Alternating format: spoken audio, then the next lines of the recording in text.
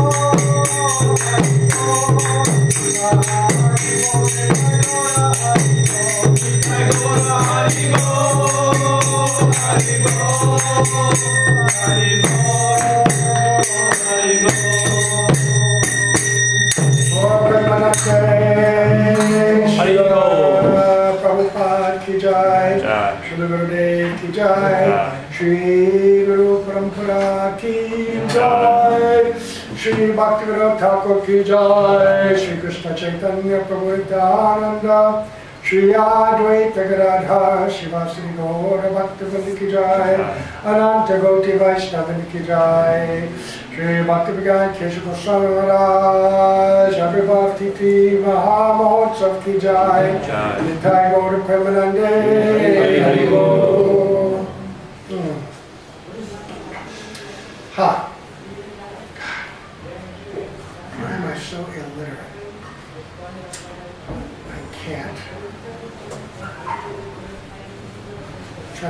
Window here so I can see my other windows.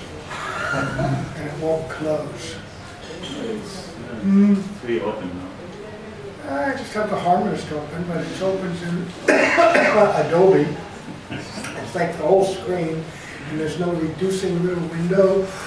Pressing escape, that doesn't work. I press Control Alt Delete, that doesn't work. There we go. There's Task Manager, it's not coming up. It was so simple when all there was was books. Alright, there we go. Okay. I am a genius. I figured it out.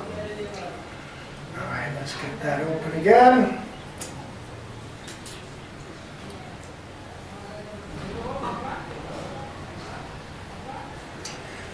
ॐ ज्ञानितिमिरन्दस्य ज्ञानञ्जनशलकय चक्षुर्निरञ्जन तस्मै श्रीगुरवे नमः गुरुवे गौरचन्द्राय मुरारिकाय तदलये कृष्णाय कृष्णभक्ताय तद्भक्ताय नमो नमः यं प्रभजन्तामनुपेत्य अपेतकृत्यं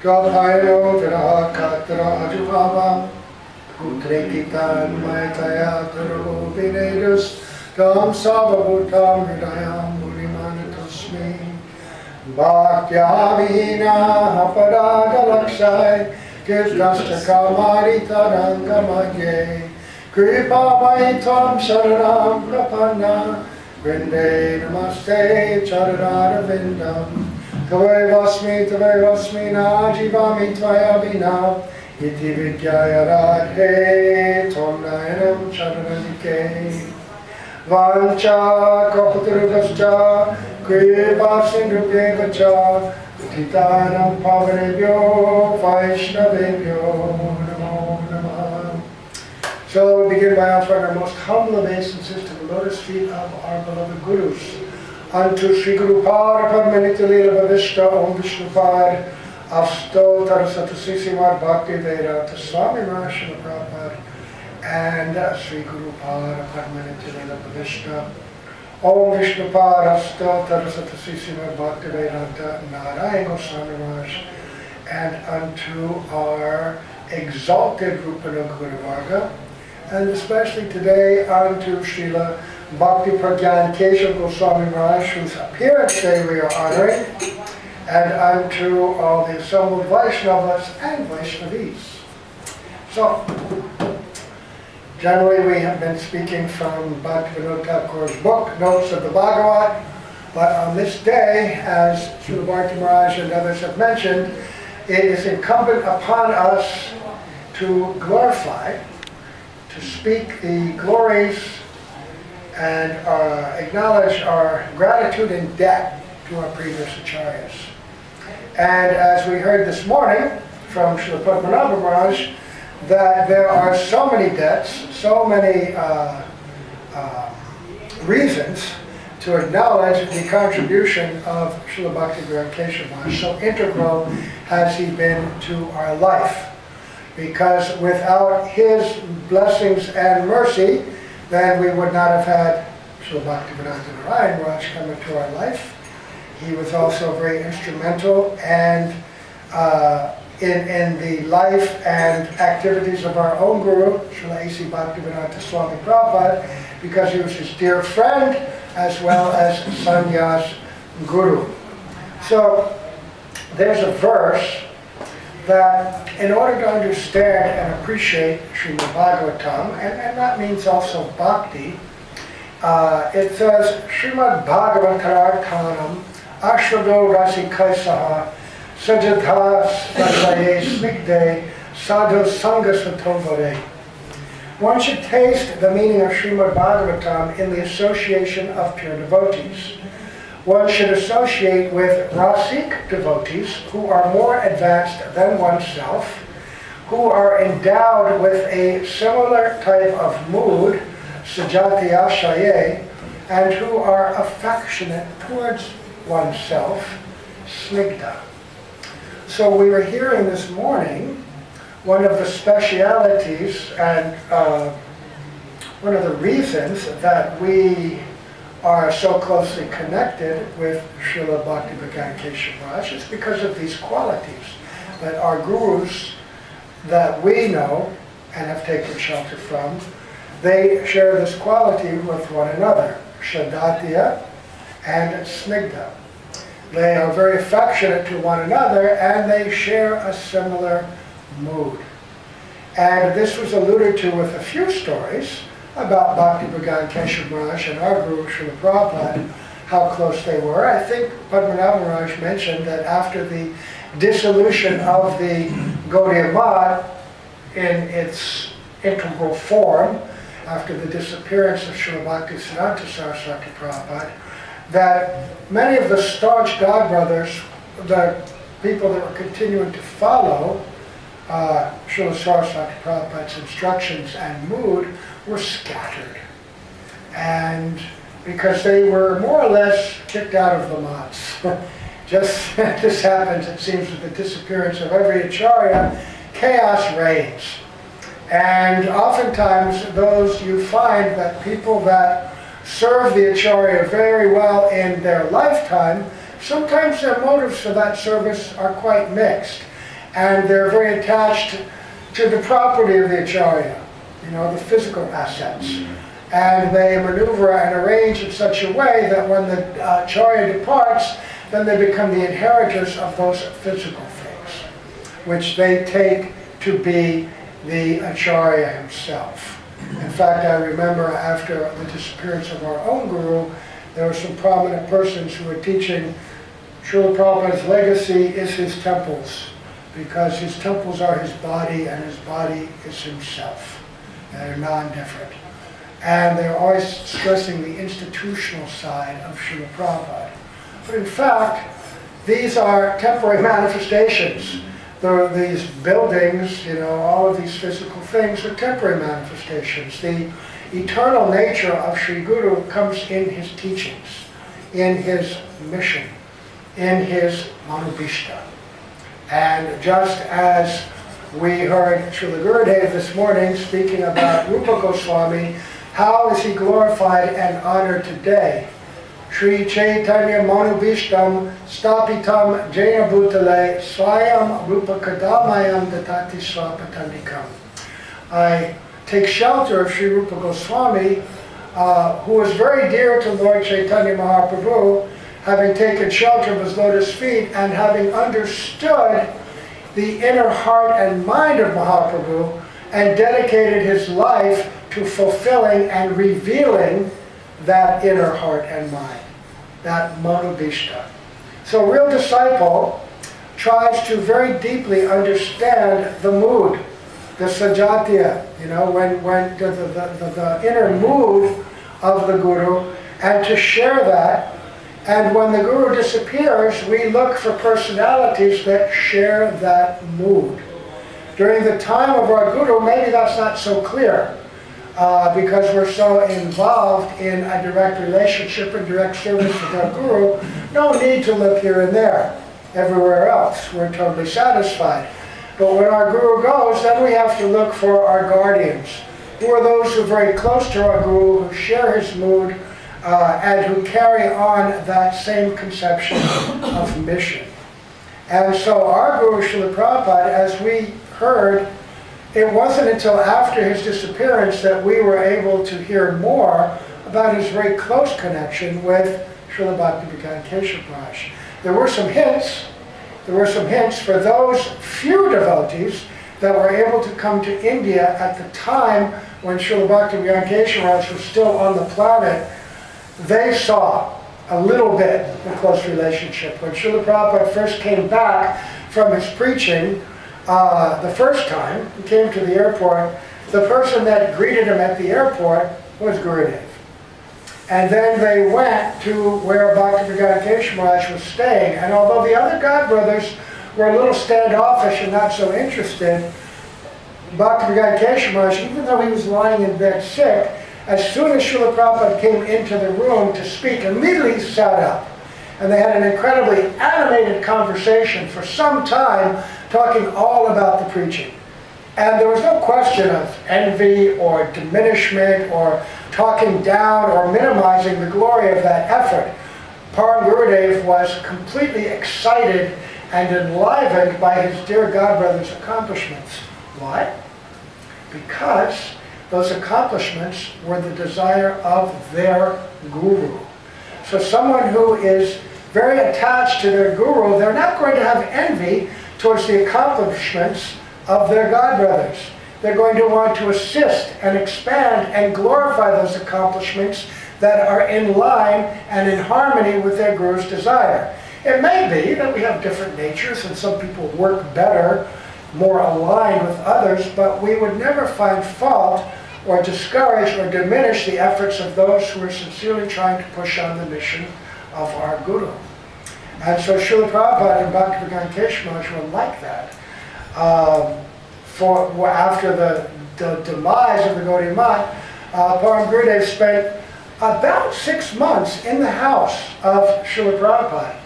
And as was mentioned in uh, some of Srila Prabhupada's biographies, that when he received guests at his home, if they were elevated Gaudiya Vaishnavas, he wouldn't go to his factory or he wouldn't go to a store.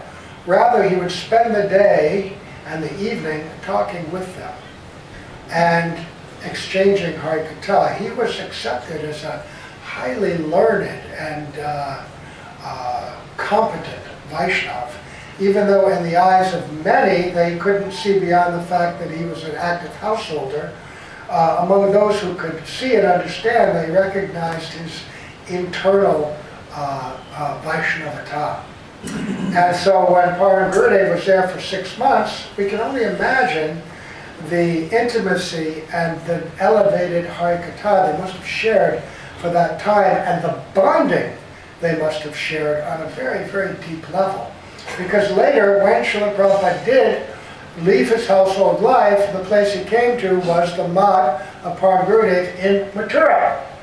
And there, with the encouragement of Gurudev, who was the commander there, he stayed in a room. Ultimately, he went to Vrindavan to focus on his bhajan and his studies, but he formed a very tight bond with Srila Gurudev and again aligned himself with the mission of Param Gurudev. He was also, which was the mission of Srila Bhaktisiddhanta Saraswati Prabhupada, during that time in the late 40s and 1950s, he was also uh, an active contributor to the literatures that Param Gurudev was having printed. After Srila Saraswati Prabhupada left, all the printing presses were shut down. This was a very integral part of the mission of Srila Bhaktisiddhanta Saraswati Prabhupada. Just as it was part of our Srila Prabhupada's mission, uh, those Gaudiya Vaishnavas very close to Srila Saraswati Prabhupada understood the incredible importance of the constant publishing of transcendental literature. Since the time of the Goswamis, Srila Prabhupada said, Lord Chaitanya instructed his disciples to write books, a fact that those who follow him continued down to this very day. So from the time of Mahaprabhu and Rupa Goswami and Sanatan, all of our principal acharyas have written and so when the printing presses were shut down, because of court cases and arguments, and sometimes just to raise money, just to sell them, Param with great effort, began printing again. Began, re restarted the Gaudiya Patrika, uh, Bengali publication, uh, Bhagavad Patrika, uh, uh, Harmonist, Sajjana Toshini, so many literatures, and translating and translations and commentaries of Bhaktivinoda Thakur, Srila Saraswati Prabhupada in Bengali, gradually in Hindi, and, and other languages as well. And our Guru Srila Prabhupada was involved in that. He was one. He was appointed senior editor of some of these publications, and in that capacity, he worked with Srila Vaman Maharaj, Srila Trivikram Maharaj. He knew all of them. He knew all of them. So there's a very close working relationship that many people don't understand between Srila Prabhupada and Param Gurudev. They were Sajatiya and Snigdha to one another. They shared a conception of the mission. And then, so when Srila Prabhupada did renounce, he came back to that group, those maths, and maintained a very close relationship. And as we heard this morning, when it came time for him to take sannyas, he took it from Param Gurudev in the Math in Mathura under the uh, oversight of Srila Gurudev, who was the priest, officiating priest for that ceremony. And then, with the assistance of the disciples of Srila Bhaktivedanta Keshav Maharaj, he did go to the west, and many things that he needed were kept in storage and sometimes sent over to the west by the grace of Gurudev, who understanding the mood and affection that his guru had for Srila Prabhupada, he developed that same kind of mood, and so that relationship continued. So, um, all the disciples and all the devotees that are coming in the line of Srila A.C. Bhaktivedanta Swami Prabhupada would benefit and be very happy to hear about this close and abiding relationship because this is an example for all of us that oftentimes new devotees, Kanishta Vaishnavas, we try to close ourselves off from the Vaishnava community. We only recognize those Vaishnavas who are only within our own institution. Because our own bhakti is not so high, we only recognize uh, institutional considerations of who is a Vaishnava, who is not, who is qualified to associate with, who is not. But when one evolves a little bit in bhakti, then one, by hearing the katha of another, will be able to understand, is this person in the mood of my guru? Is this person sharing the vision and mission of my guru? Will my service and nishta my, to my guru be nourished by association with this person? And that's the key point. Our guru nishta, whatever nourishes and lifts up our Guru Nishta, that is what is favorable for our bhakti. So that is the kind of association we are seeking. So there was an allusion to the letter or the little lecture that Srila Prabhupada gave on the disappearance of Bhaktivedanta Keshav And since I know most of you have not heard it, I'm going to read it because it's a very beautiful glorification. I'm sure some of you have heard it. How many have read it here? I know you have, you have, you have, but I probably don't remember much. Right? Okay. And the rest of you, uh, Srila Prabhupada now, he's speaking to his disciples in Seattle. This is only two years after he began his institution, ISKCON. This is October 1968. the fall of 68. So even though his mission was to grow into thousands and thousands of disciples around the world and over 100 months, at this time he had a handful of temples and maybe 300 disciples after two years. The momentum was beginning to build, but still very small. Uh, so they're in a small house. Most of the temples in those days were small houses that they rented. And everybody lived in the house together, and the small living room was the temple room. And every day they would go out on Harinam, Nagar Sankirtan, sell back to Godhead magazines, chant the holy name, and in this way they would, you know, prosper. They would, their own spiritual life would be practiced, and they would gradually share it with others. So Srila Prabhupada is there with his own disciples in this very small new math, and he's talking to them all. And this is when he has found out by telegram about the disappearance of his dear godbrother just some days before. So he begins by saying that one has to accept the renounced order from another person who is in the renounced order. Talking about sannyas. So I never thought that I shall accept this renounced order of life. In my family life, when I was in the midst of my wife and children, sometimes I was dreaming, my spiritual master, that he is calling me, and I was following him. When my dream was over, I was thinking, I was a little horrified. Oh, my Guru Maharaj wants me to become a sannyasi. How can I accept sannyas? At that time I was feeling not very satisfied that I have to give up my family and have to become a mendicant. At that time it was a horrible feeling. That's true. When you're in household life, or even not household life, independent life, the idea of sannyas, a very horrifying thing. Because what does it mean? You're giving up your independence fully. And you have to accept mind, body, and soul. All your actions, all your deeds, all your words now have to be dedicated to Guru and Krishna. And Srila Prabhupada, of course, he was looking forward to this, but now he's speaking in the mood of Vaishnava humility as an example for us. I was afraid of sannyas because we are afraid. Do you want to take sannyas? No! later, later. uh, no, I cannot take sannyas. But again, I saw the same dream.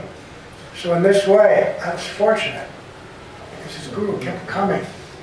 My Guru Maharaj, and now Srila Prabhupada is so choked up with the emotion, remembering this, he's beginning to cry. My Guru Maharaj, he pulled me out from this material conception. We think that we shall be the loser by accepting Krishna. Nobody is loser.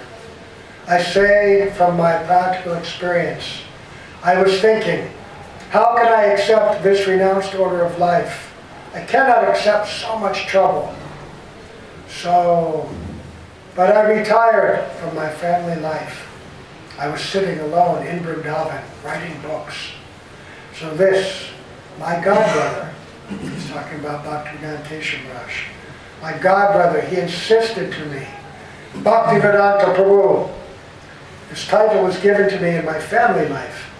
Uh, sometimes we think that he received Bhaktivedanta when he took sannyas, but actually he received that prior to uh, uh, even leaving sannyas. He was recognized by the Gaudiya Vaishnavas because of his learning. Who gave the title? Huh? Who gave the title? It was some small collection of devotees. I can't remember. Because in the Gaudiya Vedanta Samiti, all received Bhakti Vedanta. Yeah, sometimes it said afterwards, I mean, Gurudev made some acknowledgement of that, that he, Dr. Gankeshwaraj was more or less honoring that. Because in the other missions, they don't have Bhakti Right. They have Bhakti Vigyan, Bhakti, so many Bhakti, Bhakti Vada, Bhakti. Even in this ISKCON, they don't use Bhakti. But Srila Prabhupada speaks in his purports in Srimad Bhagavatam and extols and glorifies and gives special meaning to that name Bhaktivedanta. So the Bhaktivedantas are very merciful. They're preachers. They go to uplift the world. So there's some deep interconnection with Srila Bhaktivedanta Keshavar, Srila Prabhupada with that title, Bhaktivedanta, which we have inherited. It's a great legacy to inherit that. Um, so, it was offered to me by the Vaishnava Society. So, he, my godbrother, insisted me. Not he insisted me. Practically, my spiritual master insisted me through him that you accept. Now, this is a very powerful statement. This is very, this is probably the highest praise that could be given by Srila Prabhupada, that he's acknowledging that his guru, his godbrother, is direct representative of his guru, giving him this specific order, implicit and explicit order. You take the sannyas. He was accepting that this was not from his, from his godbrother, but from his guru. So he was seeing him in that non-different way. Very, very high praise. Uh, my spiritual master insisted me through him, the real transparent via media. You accept, because without accepting the renounced order of life, nobody can become a preacher. So he wanted me to become a preacher. So he forced me through this God brother. You accept. So unwillingly, I accepted. And then I remembered that he wanted me to go to the Western country. So I am feeling now very much obliged to my, to this God brother, that he carried out the wish of my spiritual master and enforced me to accept this sannyas order. Gurudev has also said this. Srila Prabhupada is directly acknowledging this. Sometimes people take offense. We're very attached to our own guru and we think our guru stands alone among all others. But our guru's empowerment and glory comes from his connection and empowerment through the chain of disciplic succession. And some people become uncomfortable when they say, that Srila Prabhupada was empowered by the sannyas by Srila Bhaktivedanta Keshav Srila Gurudev says that. Some people say, oh, no, he was empowered by Srila Prabhupada, Srila Bhaktisiddhanta. But Srila Prabhupada himself is saying that Bhaktisiddhanta Saraswati Prabhupada spoke through Param Gurudev and empowered him with this sannyas through the agency of Param Gurudev. And so he's feeling obliged eternally indebted to Bhakti Bhaktivedanta Keshav and saying that had I not taken this sannyas, I could not have accomplished this mission. Because what does sannyas mean? It means completely surrendering to the will of the Lord. Now that doesn't mean that everybody that's got an uttariya and a lungi and a stick is a sannyas. Because when we were preparing on the night before our sannyas in 2004, we were in um, Govardhan, in Govardhan, and Srila Gurudev was lecturing, and I was sitting there with Maharaj, was, and we were both prepared for execution the next day. He wanted it, I didn't. I was forced. anyway, Gurudev was speaking and he was talking about sannyas and he said, the ceremony of sannyas does not mean that you're a sannyasi, but now it's a beginning and opportunity to become sannyas. So just like Diksha, we perform the ceremony, but very rarely does a person receive full Diksha at the time of initiation. This is a very rare and qualified person. Generally, Diksha is the beginning of the process of purification that ultimately confers and bestows upon us the full realization of our own Siddha Deha, our eternal relationship with Guru and Radha and Krishna. That's the meaning of Diksha. Uh, transcendental knowledge is bestowed fully upon us and all unwanted anarthas and obstacles are removed. That's real Diksha. So that doesn't happen to most of us. It's the beginning of that happening to most of us. So it's the same with sannyas for most of us. But for Srila Prabhupada, when he took sannyas, he took it fully from the beginning. And at his ceremony, uh, performed in Mathura, many of his close friend godbrothers were also there, including Krishnadas Babaji. And generally during those ceremonies, all kinds of bhajans and different things are sung. Srila Prabhupada requested Krishnadas Babaji to simply chant the Hare Krishna mantra, which he did for six or eight hours. Our ceremonies don't take that long anymore. but he chanted it for six or eight hours. And then also, he spoke to the assembled audience in English. He gave his speech in English, even though the majority of people present in the audience were not strong in that language or at all. But he was thinking, now I'm beginning my mission and my mission is to go to the Western world and preach, and so he began it from that point. And my mission is to spread the Hare Krishna mantra, Maha mantra, the Yuga Dharma, and so that ceremony was uh, uh, indicative of that. So this God brother, His Holiness, Keshav Maharaj, is no more. He has entered Krishna's abode. So I wish to pass a resolution of bereavement and send them. So I have composed one verse also in this connection in Sanskrit. So you all present, you sign this. I shall send it tomorrow. The verse I have composed, it is in Sanskrit. Vairagya Vidya Nija Bhakti Yogam. Uh, this is from a verse in Chaitanya Charitamrita. Vairagya Vidya Nija Bhakti Yoga Siksachitameka Purusha Purana Sri Krishna Chaitanya Sarira Dhari Kripambudir Yastamaham Prapadye. Let me take shelter of the Supreme Personality of Godhead, Sri Krishna, who has descended in the form of Lord Chaitanya Mahaprabhu to teach us real knowledge. His devotional service and detachment from whatever does not foster Krishna consciousness he has descended because he is an ocean of transcendental mercy. Let me surrender unto his lotus feet. This was composed by Kavi Karnapur. So he's taking uh, the first line from that verse, surrendering to Mahaprabhu, who's come to teach transcendental knowledge.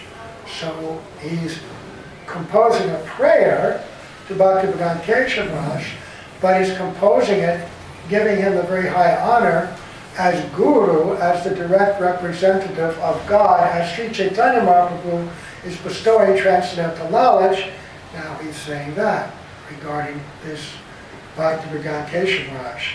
He says, this Krishna consciousness is Vairagya Vidya. Vairagya Vidya means to become detestful to this material world. This is called Vairagya Vidya. It means transcendental knowledge and transcendental renunciation. That doesn't mean dry renunciation and knowledge of this world. It means knowledge of our relationship with Krishna, vigyan, realization of that, which naturally results in a detachment from this world because we're too busy engaged in spiritual activities. Not that we're engaged in dry renunciation, removing ourselves from the things of this world by force, but because we're so happily absorbed in the activities of bhakti that the material activities of this world have no longer any attraction or illusion. So he begins, Vairagya Vidya Nija Bhakti Yogam. Um, and this is called Vairagya Vidya, and that is possible simply by this bhakti yoga. Vairagya Vidya Nija Bhakti Yogam Apayayam Mam. So this, just like medicine. The child is afraid of taking medicine. That I also experienced in my childhood. uh, when I became ill, I was very stubborn. I won't accept any medicine. So my mother used to force medicine within my mouth with a spoon. I was so obstinate. So anyway, similarly, I did not want to accept this sannyas order. But this god brother forced me. You must. Apayayan mam. He forcefully made me to drink this medicine. Anabipshu Why was I unwilling? Anabipshu means unwilling. Andam, andam means one who is blind, who cannot see his future. The spiritual life is the brightest future, but the materialist cannot see it. You see? This is what now Srila Prabhupada is talking to his fresh young disciples who are very enthused and energized in his presence, but he's trying to give into their heart some deep transcendental understanding so that real renunciation can endure in their hearts. Do you see? Do you see? Spiritual life is the brightest future. But material people, clouded by material attachments, you become distracted. You can't see that. The mirror of the mind is cloudy and dusty. But the Vaishnavas, the spiritual master, they can see. They forcefully say, you drink this medicine. You see, apayayam mam anabipshamandam. Sri Keshava Bhakti Pragyana Nama. So this, my godbrother, his name is Keshav. Bhakti Pragyan Keshav. Kripal Buddhi. So he did this favor upon me because he was an ocean of mercy. So we offer our obeisances to Vaishnava. Kripam Buddhi. Vanchakalpatarubhyascha. The Vaishnavas, the representatives of the Lord, they are so kind. They bring the ocean of mercy for distributing to the suffering humanity. Kripambudiryas tamaham prapadye. So I am offering my respectful obeisances unto His Holiness because He forcefully made me adopt this sannyas order. So, He's showing and He's saying that this godbrother loved him so much like a mother. Is there anybody that loves a child more than a mother? Not possible. And he used the example how his mother, out of love, used to force him to take medicine, even though he was so obstinate. So just like a loving mother, Bhakti Gyan forced him to take this medicine of sannyas. And so now he's in deep mood of separation and affection. So, I am offering obeisances along with my disciples. So not only he's saying, I'm feeling this, but you also must feel this. You must also offer these respects. You are also in his debt. Were it not for him, I would not have come here. Were it not for him, you would not have been uplifted by me. So we are all offering this. So by the extension, every one of us who has a debt to Srila Prabhupada has a debt to Srila Bhaktivedanta Keshav This is Srila Prabhupada's own acknowledgement. Just as we heard this morning, uh, Gurudev was saying, you mentioned, that were it not for the mercy of Srila Prabhupada, we, he would not have been able to do what he did in the West. And Srila Prabhupada is saying, were it not for the mercy of Bhaktivedanta Keshav Maharaj, he would not have been able to do what he did in the West. Such egoless acknowledgement and praise. This is Vaishnava. This is Vaishnava. Uh, so, um, oh, So, so I remember uh, Oh, so I'm offering my respectful obeisances along with my disciples. On the first day of my, my sannyas, I never thought, but I remembered that I'll have to speak in English. So I remember on that sannyas day when there was a reception, so I first of all, I spoke in English. This is all arrangement of Krishna, higher authority. We are writing like this, resolved that we the undersigned members and devotees of the International Society for Krishna Consciousness Incorporated in a condolence meeting under the presidency of His Divine Grace A.C. Bhaktivedanta Swami, today the 21st of October 1968 at our Seattle branch, express our profound bereavement on hearing the passing of His Divine Grace, Om Vishnupad Sri Srimad Bhakti Pragyan Keshav Goswami Maharaj, the sannyas guru, preceptor of our spiritual master. And on October 6, 1968, at his headquarters in Navadwip, West Bengal. So Srila Prabhupada is acknowledging that Bhakti Pragyan Keshav Maharaj is his sannyas guru and preceptor, like a Shiksha guru. He's fully acknowledging and stating that. Not out of just some politeness. You don't say such a grave statement in a letter like this without complete sincerity and assurance that what you're saying is true. Otherwise, if you make some false praise, this is also an offense. There's uh, the mistake of overextension of praise, and there's the mistake of underextension. And, and so he's speaking exactly correctly. Uh, the sannyas guru and preceptor, he's accepting that. Um, lovingly, lovingly. No threat. We hate to accept authority. We hate to accept there's somebody over us. We hate to acknowledge that somebody's our boss or somebody's our superior. We chafe under that. But the spiritualist, they relish in that. So Mahaprabhu himself, he said, I'm not any great person. I'm not a sannyasi. I'm not a brahmin. I'm not any of these things. What am I?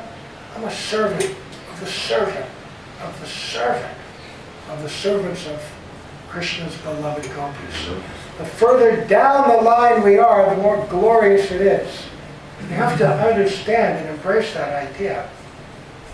Um, so, we offer our respectful obeisances unto the lotus feet of Sri Srimad Bhakti Pragyan Keshav Goswami Raj with the following verse composed on this occasion by our spiritual master. This verse I've already explained to you, so I wish that you'll sign this and I'll send it tomorrow by airmail. Have you got pencil? Govindadasi, yes. So they sign. And then that's the end. So this was his, if Srila Prabhupada didn't profoundly believe in something, he would never speak it, especially with such gravity, especially to such impressionable young disciples who whose every word and action were being taken as the most important instruction. So, very beautiful example. And so we're also going to see that this is the mood of Vaishnavas, that we always want to remember and honor, acknowledge the debt to our great preceptors. So tonight, so many are coming, right? From other mats, because this mat represents the line coming from Bhaktivedanta Maharaj. So they are coming here as a show of respect. Even though most of them, or many of them, are very senior to us, and we should be going there because of the gravity of the occasion and because we're honoring Param Gurudev, this is his mat, therefore they are coming here. And they will be speaking and sharing their realizations. Who's coming tonight? Yeah? Yeah. Any others? Usually all those, like, Hmm? usually all the sannyasis and brahmacharis from the Gaudiya Maths come. What other Gaudiya mats are here? There's like 12 Gaudiya Gaudiya Maths. Huh? There's like 12 Gaudiya Maths. 12 Gaudiya mats here. It's going to be a big program. Well, yeah, but in all the Gaudiya Maths there isn't that many people. Yeah, I know. Three, four, six, eight. Yeah, I know. But yeah, still, it'll be, you'll see it's beautiful of brahmacharis and sannyasis. Great. Huh? It's, no, it's not really. ISKCON has any place in Puri?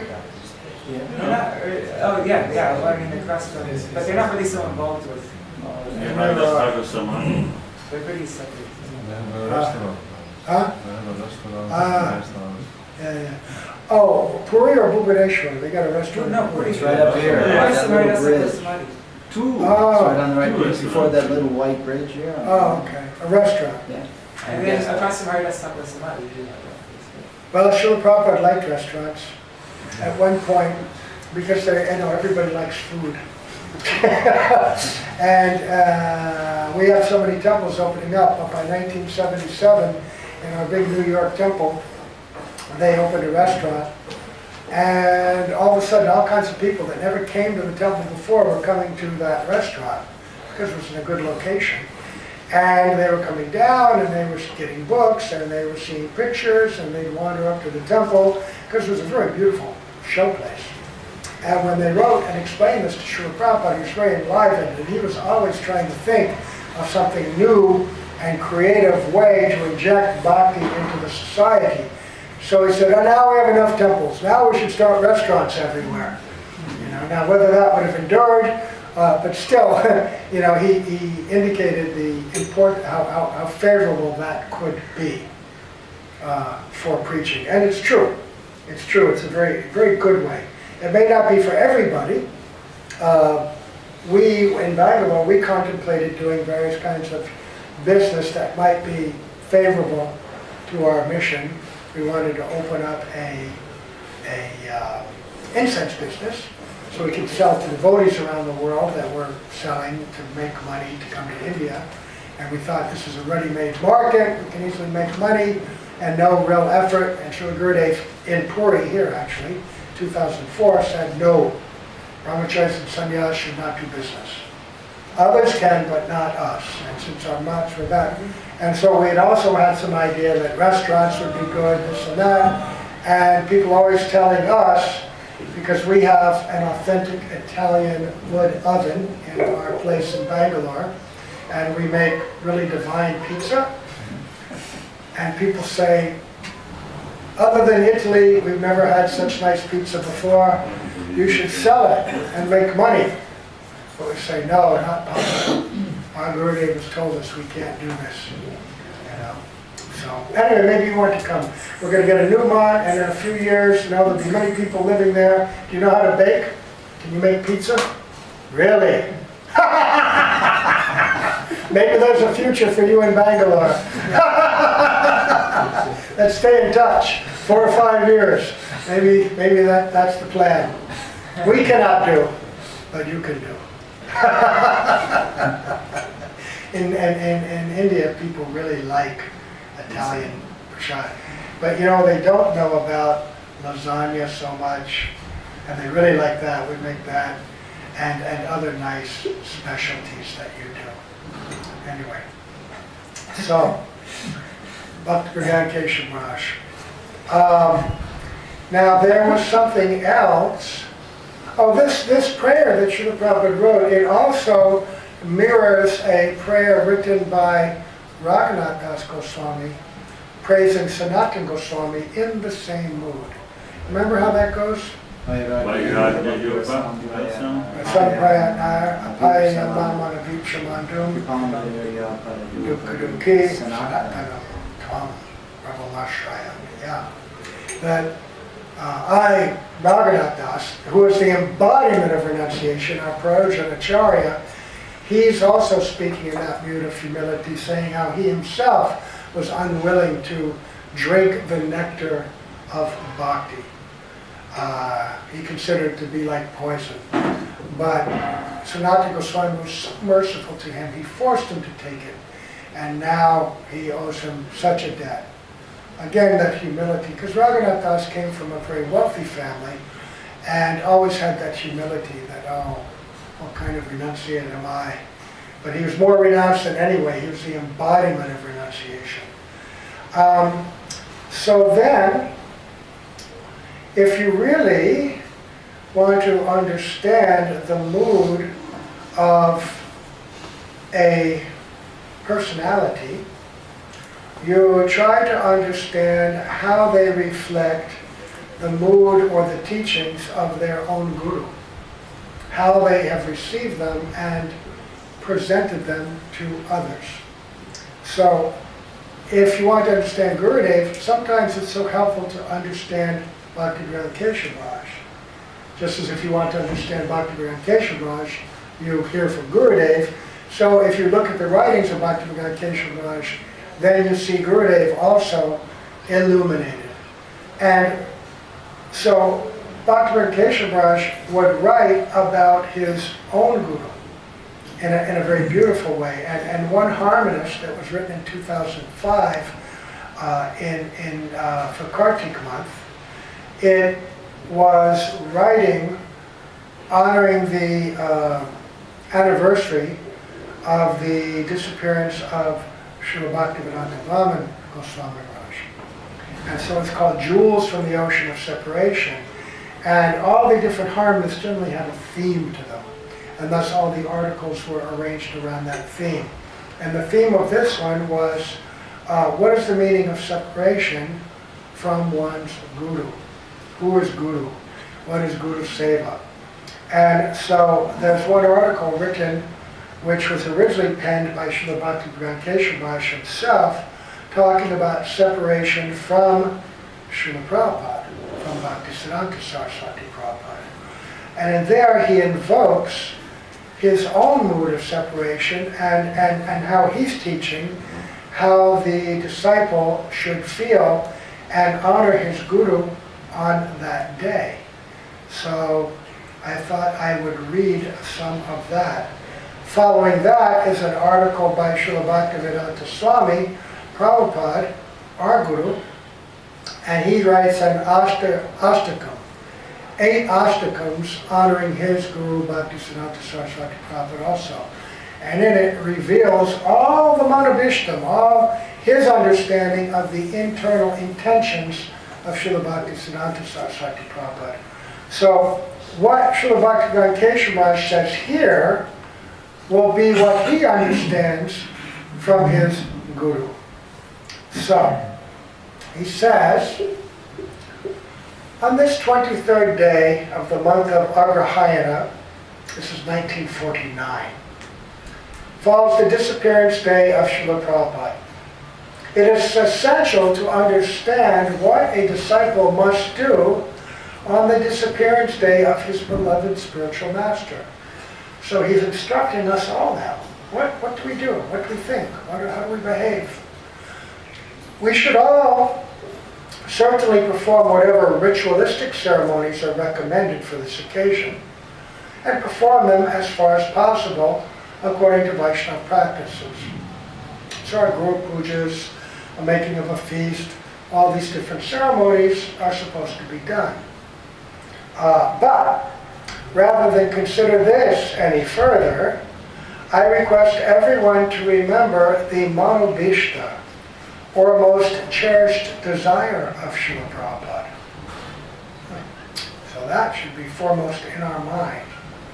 This unfortunate soul is presenting in the form of a grief-stricken, humble offering only a few aspects of what awakens fully in his heart as he recalls the disappearance of his spiritual master.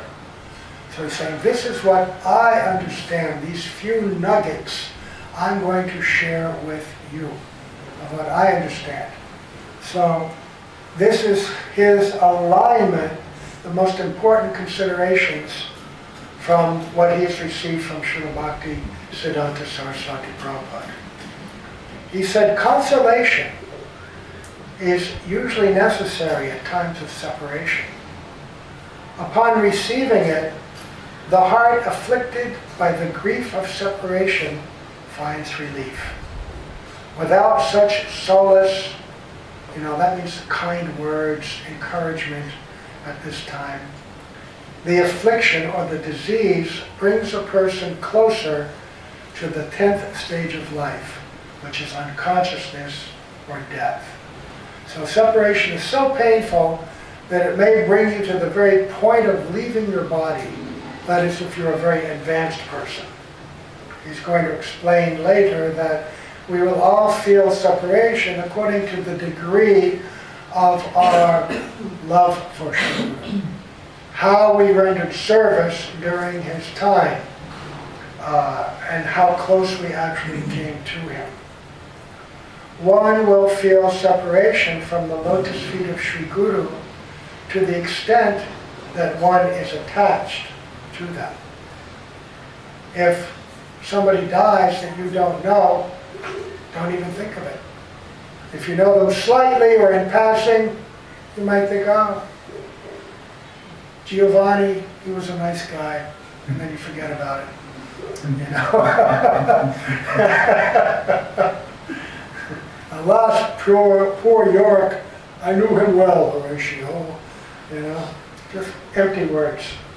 Srila Guru Padma has mercifully withheld bhakti from those of us who are proud of our learning. And to ensure our natural benefit, he did not interfere with our miserable condition, that is, our unwillingness to follow his instruction, and our independence. So just like Bhaktivinoda Thakur was saying yesterday, we have two choices. Complete freedom to surrender and be subservient to the will of the Lord, or complete freedom to be independent and go against those instructions. So he's saying that Guru will never interfere with that independence. He's here to bestow bhakti, but it's our choice to take it or not. So he's saying that for us, we did not get it. But that was Guru's mercy upon us. What? How could that be mercy? Don't we all want bhakti? Isn't that what Guru came to give? So how can it be merciful that he's withholding it? Uh, because he's not interfering with what Bhaktivinoda Thakur reveals to Brajanath in Jaiva Dharma, the topmost gift of independence to the jiva. So that when the jiva decides to bestow love, it's given freely and wholeheartedly from an independent heart. No strings, no force, no compelling. Love is being given freely. So witnessing and reflecting upon this unprecedented foresightedness, I am sold forever at his lotus feet. What can Sri Gurudev do for those who desire to be deprived? To interfere with another's independence is to lash his very existence as a conscious being and is fully contrary to Sri Bhagavan's desire. Sri Gurudev exhibits the pinnacle of service to Sri Bhagavan, and therefore such interference would be at odds with his nature. So God doesn't force you to love him. He requests you to, encourages you to, guides you to, but never forces. Uh, that said, Sri Guru is bestowing mercy upon his followers even in depriving them so. And he thereby lives up to the title Ocean of Mercy. Somehow he's showing mercy by this. Who will understand the hidden intention behind his actions? Why is he doing this? And he says, the way to transform my heart, which is intoxicated by the desire to enjoy mundane sense objects is vanchayat dravinadadibi, to deprive me by offering me mere worldly commodities. We have the propensity to fulfill our desires by enjoying the wealth and belongings of Srila Gurudev. And our foremost duty on this day is to cast this habit into the fire of separation from him, thereby reducing it to ashes. During his physical presence, Srila Prabhupada was merciful to me by supplying me with many comforts. Today, in his absence, I no longer receive this free supply, and therefore I feel acute pain and separation from him. If our need for Sri Guru were based on a feeling of emptiness that came from being bereft of his tutelage, it would be a far superior feeling of separation. So now he's questioning, why do we feel separation from Sri Guru? Some people will feel separation. Well, during the time of our Guru, everything was running so nicely. The mats were prosperous. I had my own room. There was great prasadam. Everything was great. Temples were big. We enjoyed this. We enjoyed that. I had a position. I had prestige. Now the temple's fallen apart. I'm living outside. I have some bad job oh, I wish my guru were here. I had such a good life then. You know, uh, this, but he's saying that uh, remembering Guru for the wrong reason and feeling separation uh, he gave you those things because that's what you wanted, but at the same time, he's also allowing you, because whenever you get material things, they won't produce happiness in the end. They'll only produce unhappiness, no matter what you get, no matter how much you get. Even if that unhappiness comes from being deprived of them at the time of death. You know, if I could only have just another week, I'd give all my money, or half of it anyway. There was some rich person in Japan who had some billions of dollars, and he told the doctors, I would give half my wealth if you could extend my life. And they said, you could give all your wealth, but we can't extend your life. So even in the face of death, he couldn't let go, but he had to let go. Ultimately, you know Alexander the Great, right? Everybody knows Alexander the Great. So when he was dying, he asked the physicians, they came to him, what can we do for you? Can you help, help me to live? No, we can't. I'm going to die. Well, then this is my wish. I have two wishes. One is that when you bury me, I want all my wealth strewn on both sides of the road that goes to my grave. And in my grave, I want to be buried naked with my hands out like this. And they said, what? What does that mean? He says, it means that I came into the world empty-handed, and even though I acc accumulated so much, I'm leaving with nothing. I'm leaving empty-handed. So this is the mercy or gift of Sri Guru. If we intend and are intent on maintaining these attachments, then he will let us have them along with the appropriate lessons that come with it. There's two ways to experience. You know, one by love, the gifts of love, and one the gifts of attachment to temporary things. That Bhakti Bhaktivinoda Thakur said yesterday that the Lord will give with their deterring encouragement. You know, that you get discouraged by the price you have to pay to enjoy in the material world. Because it starts out sweeter than honey and nectar when you're young and strong, and just gets tougher and tougher and tougher as life goes on. So, uh, huh? The last part. If our need for Sri Guru were based on a feeling of emptiness that came from being bereft of his tutelage, it would be a far superior feeling of separation. So rather than being unhappy because we don't get the material benefit of Guru, and not just the material things, but even the praise to our ego, the pats on our heads, oh, you're very good, da, da, da, all the praise that puffs us up. Because Guru, if we're not very advanced, he won't chastise us. He'll only praise us. You know, like Gurudev, he knew how fragile I was. He'd never chastise me. Once in a while, he'd yell at me a little bit, but hardly at all. And usually even in a humorous way because he knew, like, oh, he chastised me. I, oh, one time he did. Oh my God. Oh, in public, I almost sank into the earth. But then the next day, he was really kind and he gave me his garland and a big smile. oh, Still loves you. but he just want to let me know, you know, there's two sides to it. Sometimes you get, you know, the garland, sometimes you get the fist. but the fist is the real mercy. Uh, but, you know, Srila Prabhupada used to say about Srila Siddhanta Saraswati Prabhupada, he could be hard like a thunderbolt or soft like a rose. And that was also Srila Gurudev, and that was also Bhaktivedanta Keshavaraj. You want to tell the story? What he did? Who did? No, because I want to... yes. You make everybody curious now. No, it's just I don't talk about me and everything. I talk about what he's saying.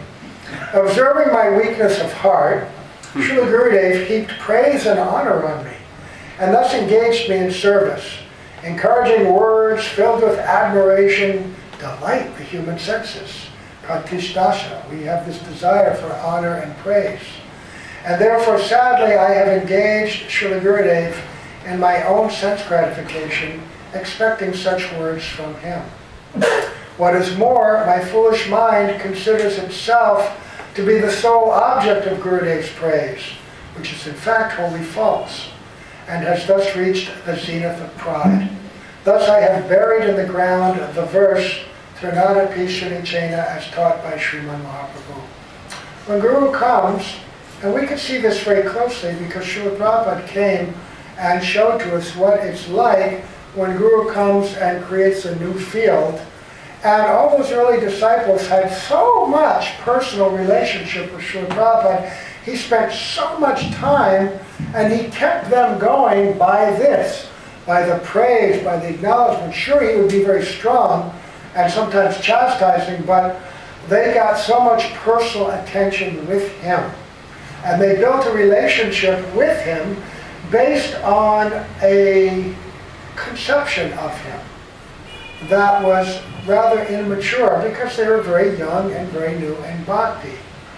And so when someone later came along that was giving Srila Prabhupada's same teachings and bringing the opportunity to go deeper into those teachings, those people could not see Srila Prabhupada in his teachings. They could only remember Srila Prabhupada by his body, by his mannerisms, by the way in which he dealt with them. They couldn't see him through his teachings.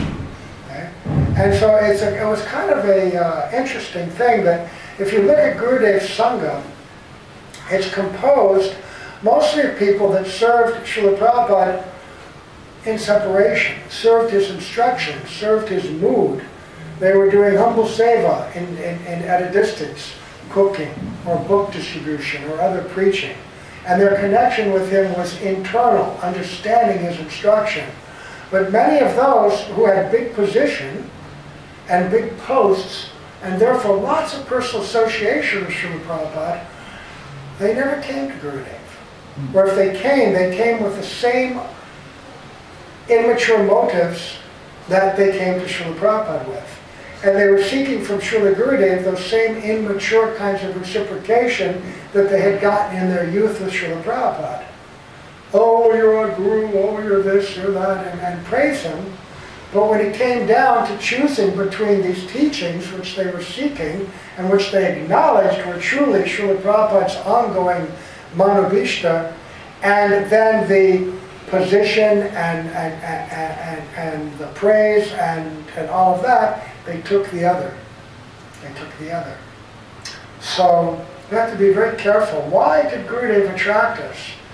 Was it because of his big kindly smile and his fatherly nature and his outpouring of unconditional love to everybody? Uh, or was it because of the teachings and that which he offered us? Many people that came to Srila Gurudev in the beginning, they were very encouraged because he had time at that time to give them so much personal association. And they relished and were nourished by that. But as Gurudev's mission grew, and he had less time to do that, he tried as far as possible to give association and time to everybody. It's one of his specialities, remarkable to see. But still, people, especially my godbrothers and godsisters that came early on, they weren't getting as much of that nourishment, personal. And so they began to fall away, fall away. Uh, and, and that's unfortunate. That's unfortunate. Even though I acknowledge that, you know, Gurudev was Srila Prabhupada's near and dear, was a successor in so many ways, they couldn't stay dedicated to his mission. Because they kept saying, oh, it's not the same it's changed. Well, yes, in many ways externally it did change. But Gurudev is always there in his teachings, always there in his Manobhishta. And you can always connect, not by being in personal contact, but by being attached to his instruction. Gurudev would say two things. Sometimes he would glorify, he's like my shadow is always with me. Then other times he would say, I don't consider personal association to be so important. It's not the proximity of the bodies, it's the proximity of the mind and heart. Are the mind and heart close? If the mind and heart are close, then you can be like this even if you're a thousand miles away. And you will feel your Guru's presence. Because Guru is not restricted by this time and place. No, this is Akhanda Guru Tattva. Gurudev telling this. any ordinary guru, he cannot do like so. Right. Guru is Sadgurudev, from distance he is always connected with all his sincere Right. He's saying, he's confirming that, Brajanath, but he's saying also this is the characteristic of a very special high-class guru, Like Srila Prabhupada. like Srila Prabhupada, like Srila Gurudev, these Uttam Mahabhagavats. When the last period we were here in Delhi and Govardhan here, Gurudev always kept a picture of his Gurudev with him. Mm, He said, I want that picture should always be with us everywhere. mm. And he used to, he wanted it right in front of him. And he used to look at the picture. He's saying that in the last many months, when Gurudev was manifesting sickness and teaching through his disappearance pastimes, that he requested and demanded that a picture of his own guru always be present. This picture, That picture you see over there. That very beautiful picture of a very smiling, compassionate Bhakti Geshe Maharaj with his books and, uh, and, and his garland. And that this bed, while Gurudev was lying on this bed, that picture would be right across from him so that he could glance upon it constantly. And then I was thinking, why Gurudev doing this? Because he is Siddha, he is perfect. But only everything he did is for others. To teach us that we should never ever be separated from Gurudev. I was saying, why was he doing this? Brajanath is there wondering. And he realized that every part of Gurudev's life was an instruction. But not an empty instruction, he's also feeling this. You know, and he's showing that this is the mood of the real disciple. Yes, he wanted that, but also, yes, he wanted us to realize that this is how we must always feel. He was making a physical demonstration of his internal sense of connection. You know, so and he wanted us to acknowledge and recognize that. That's Very why important. by this he was teaching that at every moment of our journey towards perfection, Sri Guru Paramatma always with us. Always. And according to the sincere disciple, according to Gurudev's desire, he will feel that Gurudev is directing me to do this service. The saying disciple never feels any separation from Sri Guru in that journey, and that Guru is always with us. But Guru will respond according to our own heart and our own feelings, and we will be able to acknowledge and recognize also by the degree of our own relationship, the depth of our attachment. So, very important lessons. And many times Gurudev would command, sometimes any Vaishnava would depart from the world. And we would bring the news to Gurudev, and Gurudev would reply that his Prabhu, his Guru Dev, has called him back. He said, now it is enough. You come to me for further training. Ah. So the departure of any Vaishnava, he's saying, well, high-class Vaishnavas, Guru is calling them back directly to him, and others, they're being called for the next stage in their training. But that Guru, Sri Guru is always with them, at every stage. So, Because disciple, until he reaches perfection, he will need to learn under the guidance of Sri Guru Paramatma. actually, yeah, actually there's two things. He's saying that during the process of sadhana, our theistic evolution, we will always, by necessity, be under guidance. But Rupa Goswami has also said that even in the spiritual world, that association and guidance continues, but it's of a different nature. Then we are amidst our eternal friends and associates who are continuing to instruct us. Rupa Goswami, Rupa Manjari is receiving instruction from Lalita and Radhika herself. As spiritual service and perfection is always expanding. And she's passing instruction down to others. Vishaka Devi is the Shiksha Guru for all, so many, so many gopis. Uh, Bhaktivinoda Thakur describes this in Jaiva Dharma, how in the spiritual world, in that Radhika's eternal group of associates, still there are unlimited numbers of groups. Each of those groups has a group leader. Each of those groups is responsible for an overall seva. And each of those group leaders has sub-leaders who are responsible for smaller groups. And so we're always serving under somebody else because that's the way the world works. Right? Even in this world, everybody's serving in a hierarchy. And there there's a hierarchy also. But in this world, the higher up you are, the better off you are.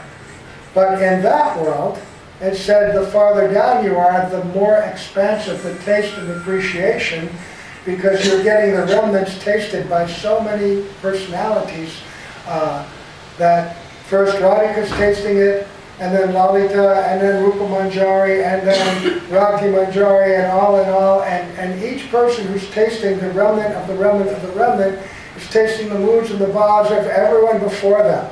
So the pleasure is expanding and expanding. There's no loss or lesserness in spiritual freedom.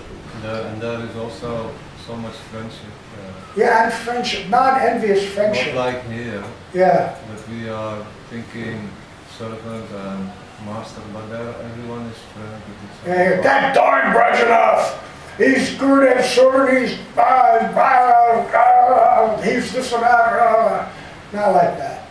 You know, spiritual world, you know, would be a different mood. Yeah. Which we're working on. And Gurudev puts us all in different positions to teach us different lessons. You know, different lessons that we need to learn now. Ultimately, he's quoting Pranada Bhishmacena. Oh, oh, God, now it's over time. Wow, how quickly. When you're talking about um, very relishable subject and great personalities, sort of forget about time. Anyway, we have to end here. We get to end here uh, this afternoon at what time?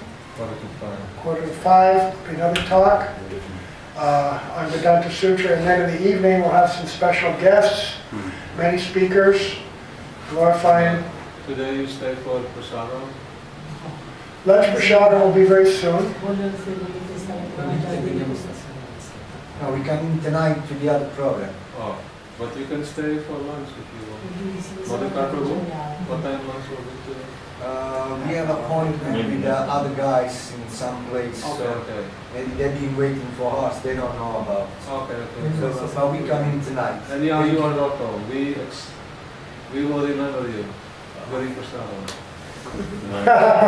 Jagannath Prasad, probably. They're gonna- Some Mahaprasadam, Madhukar Prabhu, if there is anything misty from this morning. Oh, none of that, you kidding? See old Pujari? What time is the program tonight? Tonight, 7 o'clock. At seven o'clock. At 9 o'clock for prasadam. At nine o'clock also. That's, Okay, that's a plan. okay, that's good. Hare Krishna, Hare Krishna. Hare Rama,